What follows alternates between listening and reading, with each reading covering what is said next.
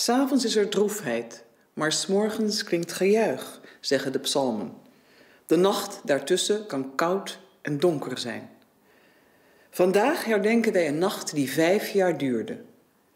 In de ochtend vieren wij 75 jaar geleden het gejuich waarmee de nieuwe dag werd ingeluid. Vijf lange jaren was ons land overgeleverd. Aan een autoriteit die wij niet zelf hadden gekozen, die onze landgenoten fusieerde en meer dan honderdduizend van hen in vernietigingskampen van het leven beroofde. Ik sta hier in de Oranjemolen, op de grond waar de duisternis tot het einde van 1944 duurde. In november van dat jaar startte operatie Uncle Beach als onderdeel van de slag om de Schelde. Geallieerde troepen rukten op vanuit Breskens naar Vlissingen.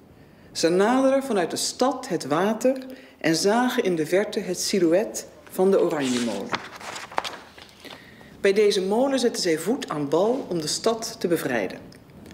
Kogels en granaatscherpen sloegen in op de muren. Maar de molen, de stad en de provincie worstelden en kwamen boven. Daarom herdenken wij. Wij herdenken een oorlog waaraan de meesten van ons geen levende herinneringen meer hebben. Er zijn nauwelijks ouders, grootouders, buren of verre vrienden die het levende bewijs nog zijn van dit verleden.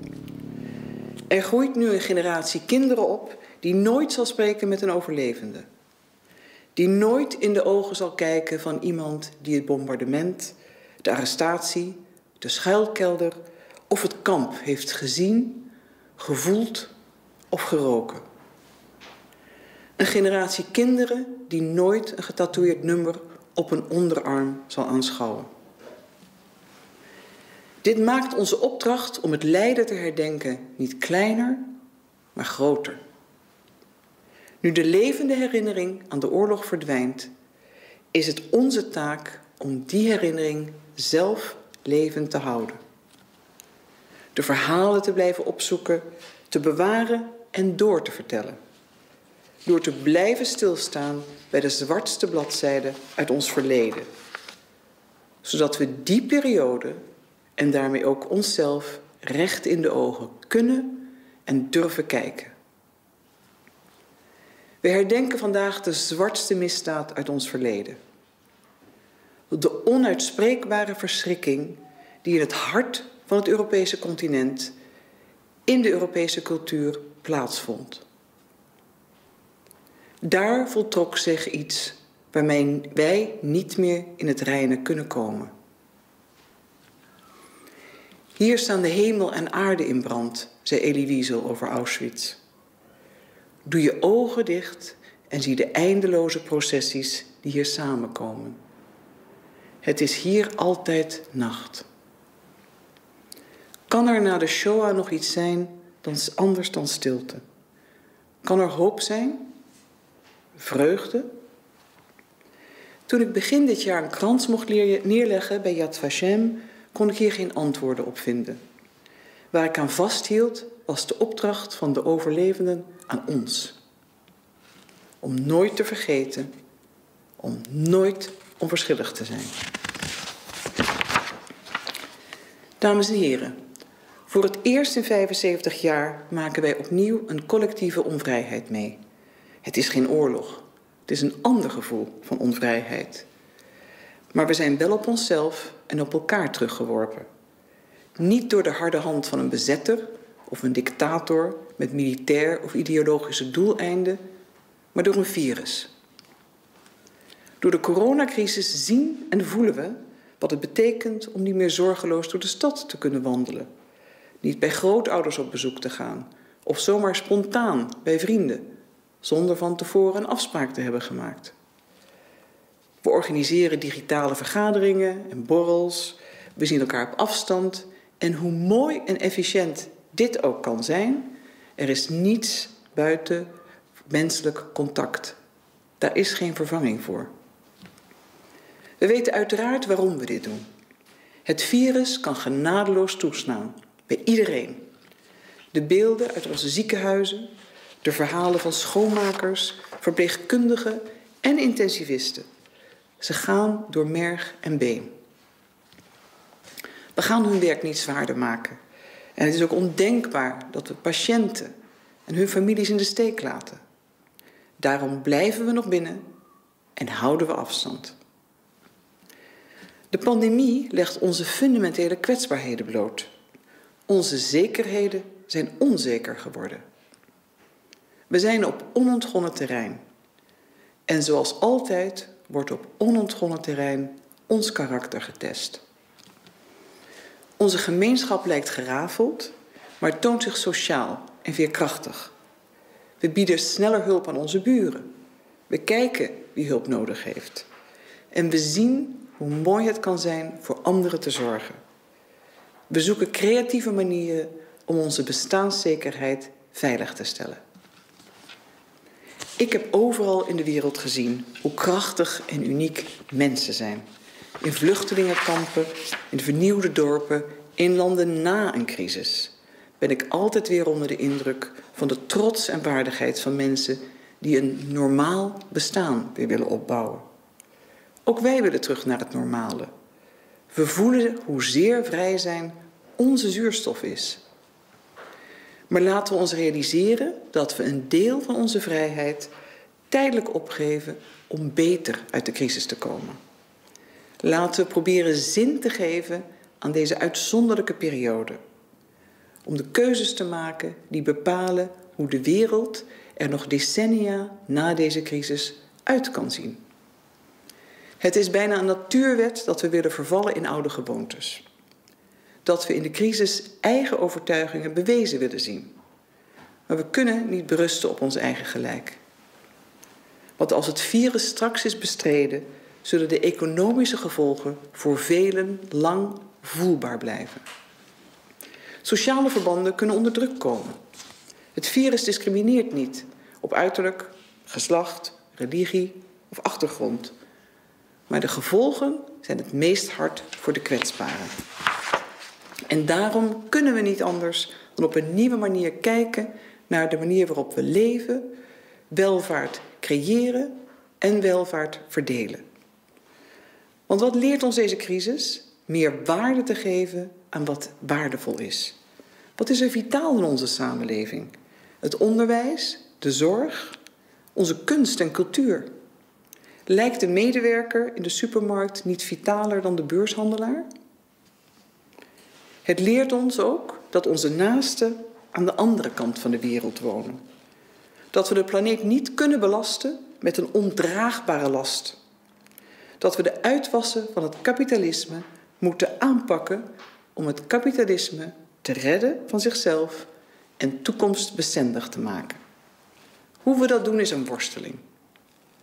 Ik begrijp dat het verleidelijk is om de globalisering een halt toe te roepen. Globalisering en internationale verbindingen krijgen het verwijt aan de basis te staan van deze pandemie. Globalisering heeft kwetsbaarheden en risico's. Dat onderken ik ten volle.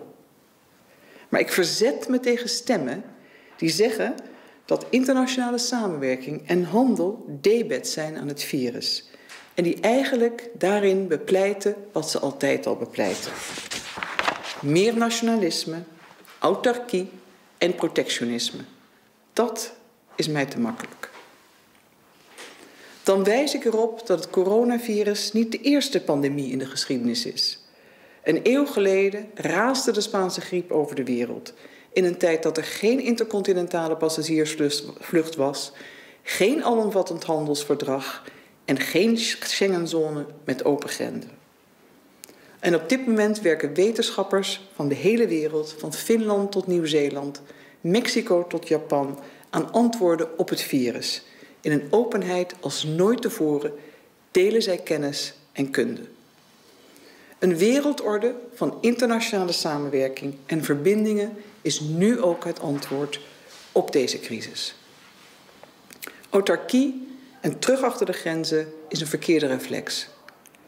Het is van belang de kwetsbaarheden en de risico's van globalisering in te dammen en aan te pakken door betere afspraken en strengere scheidsrechters. De pandemie moedigt ons aan om de wereldbevolking als één samenleving te zien. Het dwingt ons in te zien dat individuele keuzes gevolgen hebben voor iedereen. De samenleving waar we over na moeten denken, zegt Paulo Giordano, is de hele mensheid. We zien leiders die misbruik maken van hun, de crisis om hun ambities te realiseren, die verworven rechten afnemen. Leiders die de rechtsstaat afzwakken of zelfs ontmantelen en hun eigen macht via de crisis consolideren. Die nationalisme weer omarmen. Ook dit kan nooit de reactie op deze crisis zijn.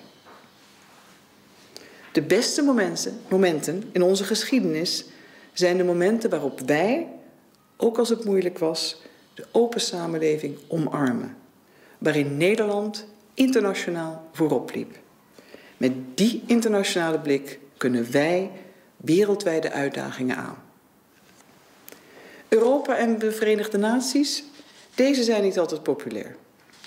Academische vrijheid, journalistieke vrijheid zijn niet altijd populair. Onafhankelijke rechtspraak is niet altijd populair. Rechten voor minderheden en vluchtelingen zijn niet altijd populair. Maar verantwoordelijk leiderschap betekent voor mij dat we pal blijven staan voor de grondrechten en de instituties die deze bewaken en voor de solidariteit en samenwerking die zij vereisen.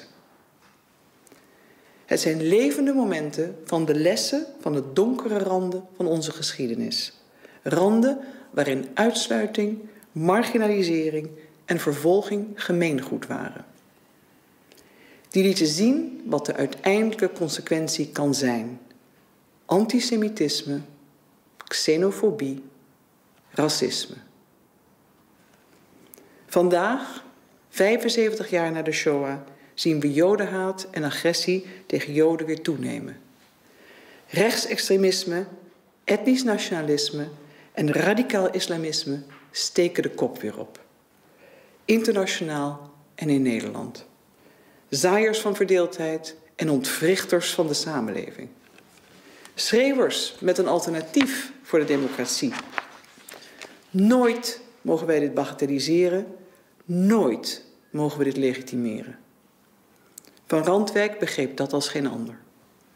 Want onverdraagzaamheid kan nooit het credo zijn.